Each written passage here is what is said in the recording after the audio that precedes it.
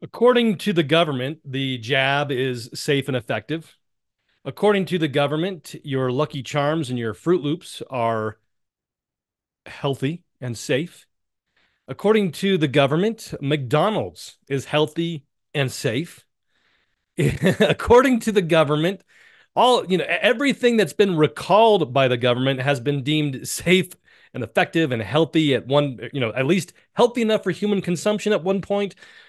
But there's one thing that they claim is not safe for human consumption, and that should be heavily regulated and treated, you know, similar to a uh, drugs that you can make meth out of. And that is raw milk. The dangerous, the deadly raw milk. On today's Tree of Liberty Society program,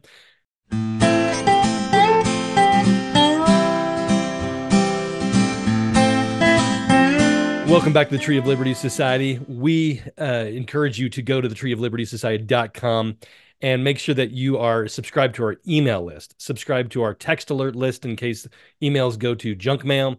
And because this video could be taken down, our channel could be taken down at any time, it is essential that you make sure that you go to our website because that is where the videos will always be, no matter what big tech does on any of the platforms. It's right there. Become a part of the solution. Support our efforts because we are trying to be silenced.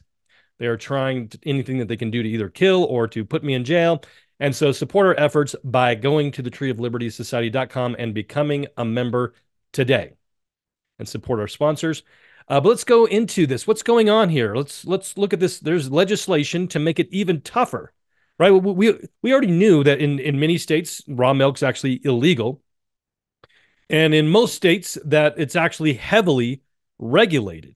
When you have when you, when you go to this, if if you get a cold and you're like I need something a little bit stronger than some Mucinex, I need to get some Sudafed or something, you've got to go um, to the pharmacist and show them your ID, and, uh, it's heavily heavily regulated because they claim that you can make meth out of it. I don't know, whatever, but um, and that's basically how they treat you when you buy raw milk, as if you're buying something that you can make meth out of.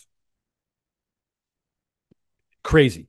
And so let's look at some of the, uh, the, the data that we have here on some key factors about raw, how how raw milk is treated in the United States. We have here uh, it is prohibited with some exceptions in Rhode Island, and in all of these red states, it is completely prohibited.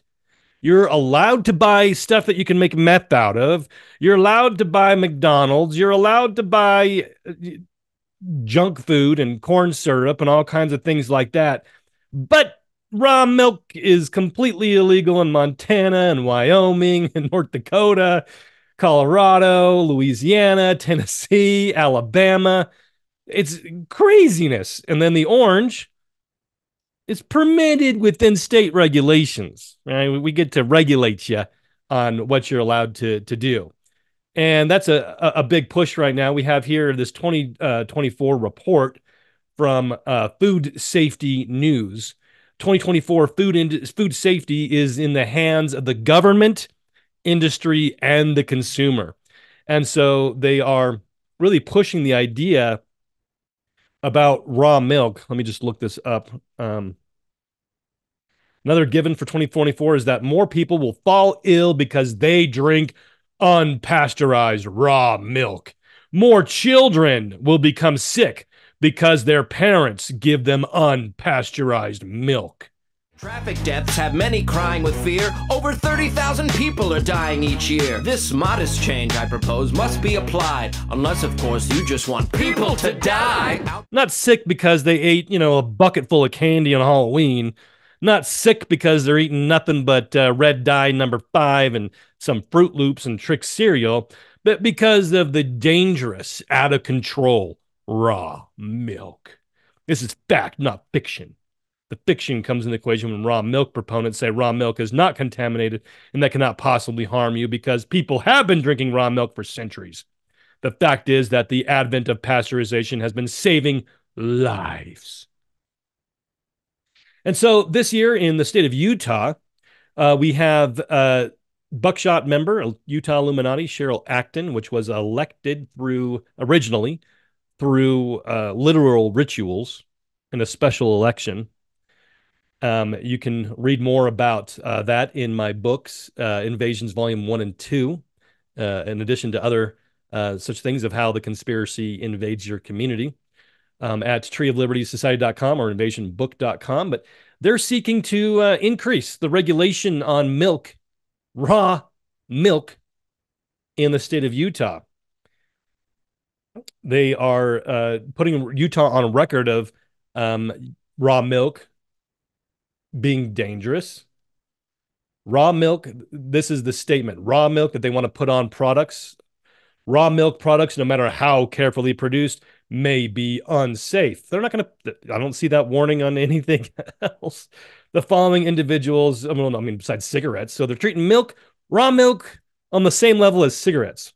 The following individuals, the following individuals are at greater risk when consuming raw milk products pregnant women, the elderly, children under the age of seven, and those with a compromised immune system. Car deaths I mentioned are terrible stuff. Doesn't seem one seatbelt is ever enough. You must vote for my act so that fewer will cry, unless, of course, you just want people to die. The statement that raw milk has not been licensed or inspected by the state of Utah, raw milk, no matter how carefully produced, may be unsafe.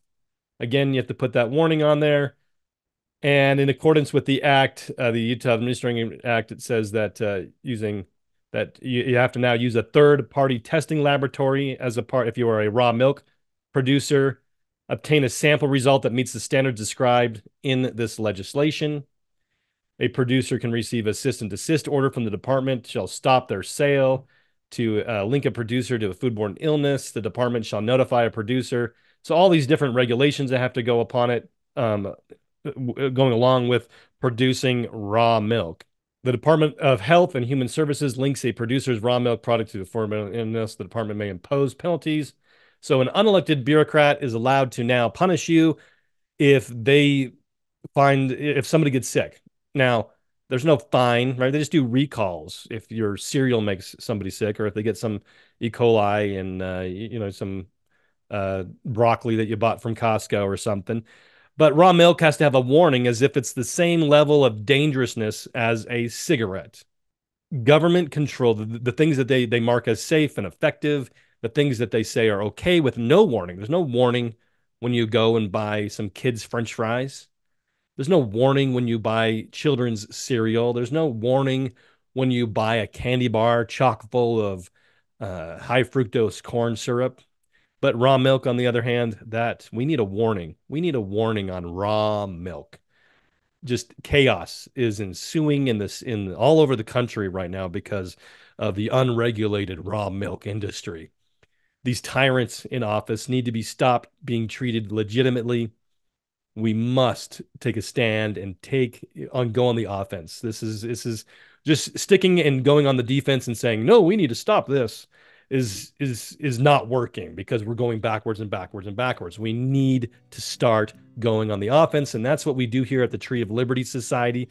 And encourage you again to become a member of the Tree of Liberty Society. Join the movement working to go on the offense to restore lost liberty, um, and get the game plan. Get these three books.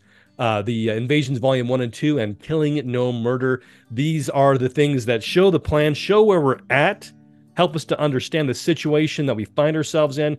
One of the best documented books out there on these things and the game plan on what we need to be doing about it as a general rule, not just with little things like bills like this, which which help illustrate how illegitimate these would-be tyrants um, want to be, um, but to go on the offense. What do we do to go on the offense and take back lost liberty? I'm Ben McClintock, and I'll see you next time.